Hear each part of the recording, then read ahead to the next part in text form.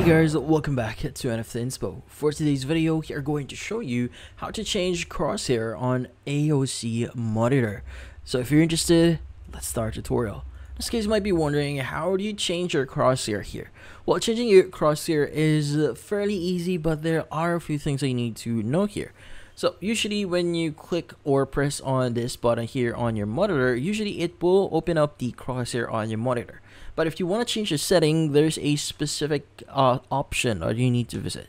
So first is you want to open up your settings. So go ahead and click on this button here. Did you see? So it depends on your monitor. It might have a button in here or a button underneath the monitor itself. So just go ahead and click on it. Now, what we need to do next is we need to use the directional buttons here and you need to look for a very specific option which is going to be OSD setup. Now the thing with the OSD setup here, not every setting is in here.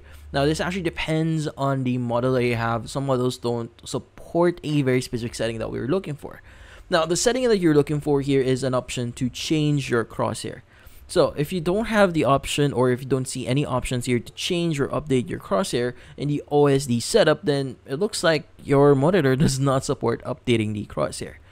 But yeah, so in this case, that's the only thing that we can do right now. So hopefully your monitor supports changing the uh, crosshair on it. But if you don't see it in OSD setup, that means you won't be able to update it.